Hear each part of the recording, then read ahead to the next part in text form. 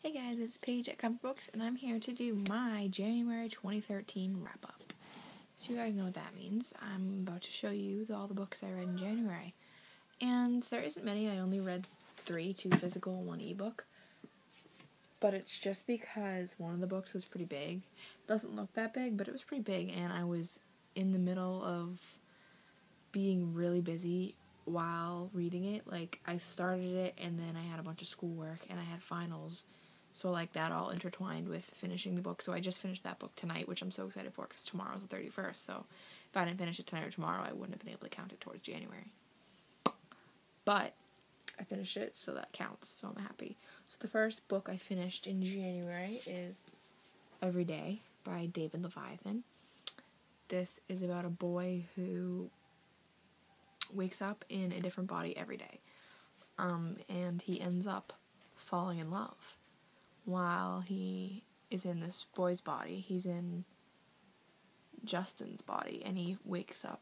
Well, he wakes up in Justin's body, and he goes to school, and he meets Justin's girlfriend Rhiannon, and he falls in love with her. So every every day he wakes up and he thinks he figures out how far away from her he is, and he figures out if he can go see her, and eventually he just can't get enough of her to where he needs to see her all the time. And it's such an interesting book. You really need to read it because it's so worth it. The ending, uh, the ending was not what I was expecting it to be. But you know, I think it may might have been because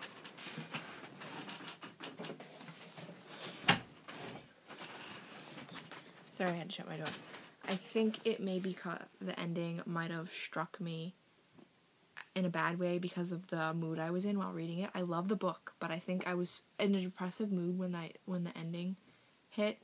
So the ending annoyed me a tad bit. I think if I reread it, I was in a lot better mood when the ending hit. I would have been, oh yeah, that was cool. You know, I don't know. Who knows? The second book I finished was an ebook. And I'll show it to you on my iPhone. You probably won't be able to see it because my iPhone's like doesn't like it. Oh my god, you can't even see that at all. Let's see. Can you? That's so bad. Oh god. Um. Hmm. Let's see if I try turning the light away a little bit.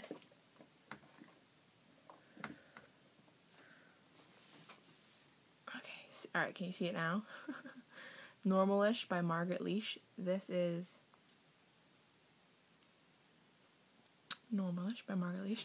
That is was a book for a tour um, from a tour that I was a part of on Xpresso Reads. I think it's about it's just basically about a girl who is going through high school and she's trying to deal with the death of her dad and something that happens with her sister and her boyfriends like her best friend like it's all basically like a high school drama life that is the whole book's about so it was it was a quick fluffy read that I, I, I enjoyed. Um, I needed a break from my dramatic books. so that was good one. The last book I read was a book that I won from a giveaway that I got. And I usually don't win when I get books, I usually like books from giveaways or books that I bought. I usually don't read them right away cuz I like them to sit there and I like them to be like, "Oh, I really want that" cuz I've been waiting for a while, you know what I mean? So I was surprised at myself for picking that up so soon, but I really wanted to read it. I really wanted to read it. Hmm. I really wanted to read it, so I picked it up. And that was The Farm by Emily McKay. Guys, this book was fantastic. Fantastic. I would have finished this in a week, less than a week, if I didn't have finals and everything going on. It took me a couple weeks to read, but that's because it's 400 pages and I had finals and stuff going on. But don't get me wrong, this was amazing. My review ranted and raved. The only thing I did not like about this book was that it wasn't as creepy as I thought it was going to be. And I really need a creepy book lately because I'm always searching for creepy books and I never seem to find one.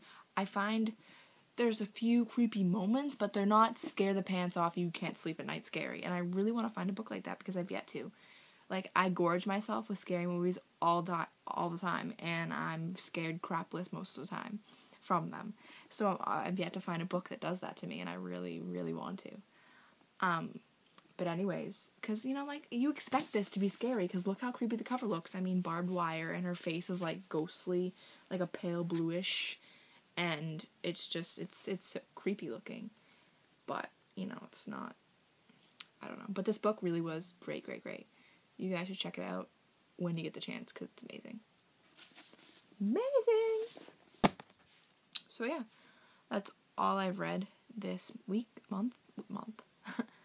I plan to read more in February because to get myself out of the reading slump that I was in through like June to till like November, that whole reading slump, that was horrible. That was a long reading slump and that was horrible because I barely read anything all summer. In summer I was like but in the months before summer I was like, yeah, I can't wait till summer. I'm going to read 10 million thousand books and get to my goal of 100 and I read like two books throughout the whole summer because I was with family all summer and I was going crazy and I was having a good time and I just wasn't reading. And it was bad. And i i totally regret that now because like i didn't get to my goal. I didn't even i didn't even make it past my goal that i last year because last year i read 79 books. This year i read like 76 oh i was so mad at myself. I was like that is not happening.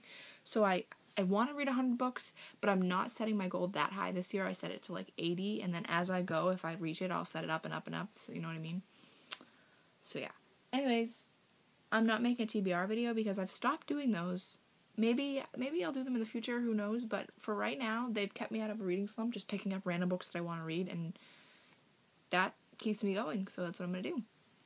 If you guys did a wrap up, I'll still watch you guys' TBR posts too. So if you guys did a wrap up or a TBR, link it below and I'll definitely come check them out and comment on the books you guys are reading slash want to read.